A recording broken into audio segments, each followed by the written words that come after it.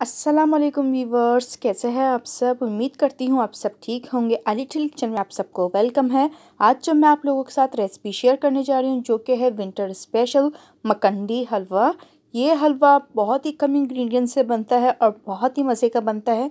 तो आज की रेसिपी को शुरू करते हैं। शुरू करने से पहले, अगर आप मेरे चैनल पर नए हैं तो प्लीज़ मेरे चैनल को सब्सक्राइब कर दें और अगर आपको मेरी वीडियोस अच्छी लगे तो लाइक और शेयर करें। इसी के साथ बेल आइकन पर क्लिक करें ताकि आपको सबसे पहले मेरी लेटेस्ट वीडियोस मिल सके।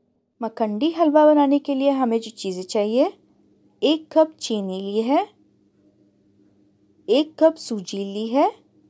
सूजी मैंने बारीक वाली नहीं ली है। एक कप घी लिया है। घी की जगह आप तेल में भी बना सकते हैं, लेकिन हलवा का जो फ्लेवर है वो घी से ज़्यादा आएगा तो मैंने घी लिया है।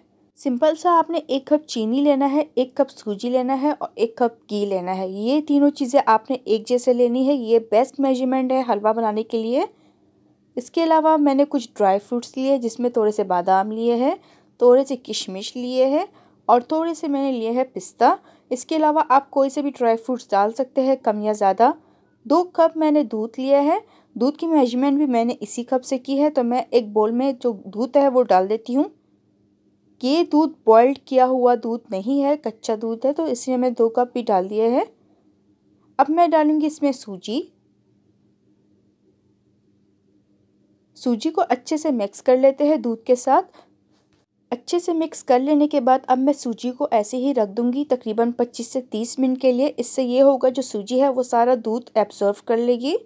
तो जब तक सूजी अच्छे से होता है हम क्या करते हैं कि जो ड्राई फ्रूट्स हैं ना, इसको रोस्ट कर लेते हैं। एक सॉस पैन लेंगे और जो घी है उसमें से वन टेबल स्पून घी सॉस पैन में डाल देंगे। घी अच्छे से गर्म हो चुका है। अब मैं इसमें डाली ड्राई फ्रूट्स ड्राई फ्रूट्स को मैंने पकाना नहीं है। लो फ्लेम पे चार से पाँच मिनट के लिए सॉटे करने हैं और ये देखिए ड्राई फ्रूट्स अच्छे से सॉटे हो चुके हैं। ड्राई फ्रूट्स को मैं निकाल चुकी हूँ और जो सूजी है उसको भी ट्वेंटी फाइव मिनट्स हो चुके हैं और बहुत ही अच्छे से सूजी ने दूध को एब्जर्व कर लिया है।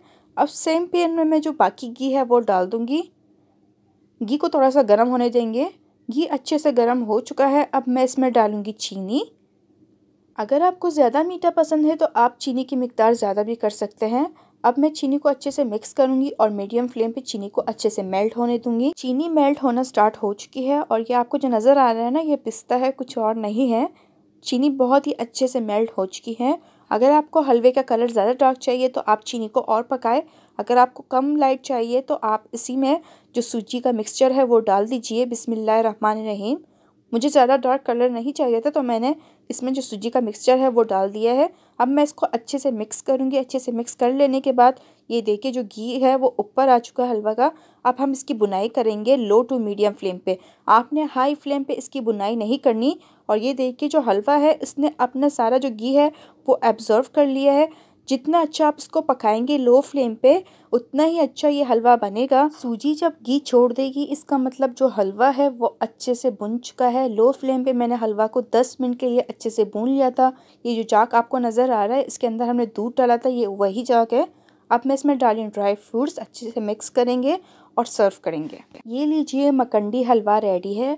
आप इस मकंडी हलवा को सर्दियों में ज़रूर ट्राई कीजिए। अगर आपको मेरी ये रेसिपी अच्छी लगी हो तो अपने दोस्तों फैमिली के साथ ज़रूर शेयर करें। मैं आपको चेक करके दिखाती हूँ।